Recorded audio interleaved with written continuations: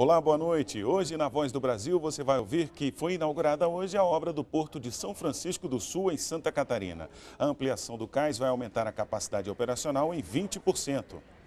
Teste obrigatório vai detectar o uso de drogas em motoristas profissionais. E ainda, instituições de ensino não podem mais cobrar por itens de uso coletivo nas listas de material escolar. Estas e outras notícias daqui a pouco às 7 da noite na Voz do Brasil, em todas as emissoras de rádio do país. Até lá!